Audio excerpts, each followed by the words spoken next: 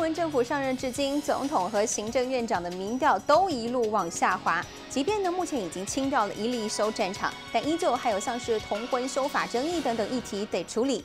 眼看着情况依旧很棘手，加上呢总统日前又重申，接下来要好好拼经济。今天行政院长林权就特地邀请媒体查叙，几乎是有问必答。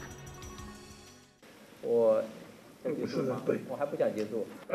再问两个问题好了。那再两个问题。行政院长林权与媒体年终查叙，这次特别不一样，不但开放全程拍摄，林权还回答到欲罢不能。不过麦克风不给力，一不小心吓了院长一跳。打了一把。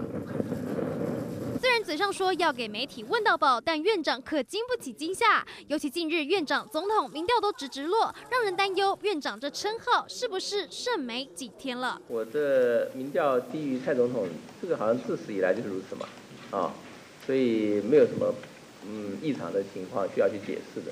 大家也不要期待我和我明天就会走啊。我会走啊！把低民调矛头指向改革后坐力，也强调自己会虚心检讨，绝不会轻易弃守行政院。不过，待改革的争议议题从没停过，尤其是同婚法案，社会对立严重。法务部长邱泰三二十六号才说明年二月将提同性伴侣法，被认为法务部倾向设专法，引发外界质疑是否又是法家湾。呃，法务部是说这是过去的一个研究报告，而且是很早期的一个研究研究计划案。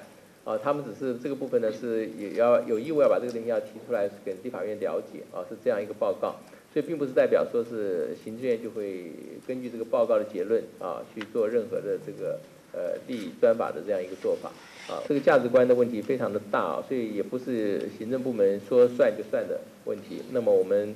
呃，当然是要尊重社会大众的想法。不对同婚表态，林权避开敏感议题，但是这施政压力有多大？看林权嘴上这颗疱疹就知道。呃，这证据在嘴巴上也跑不掉啊。关于新闻，廖文普、黄云成台北报道。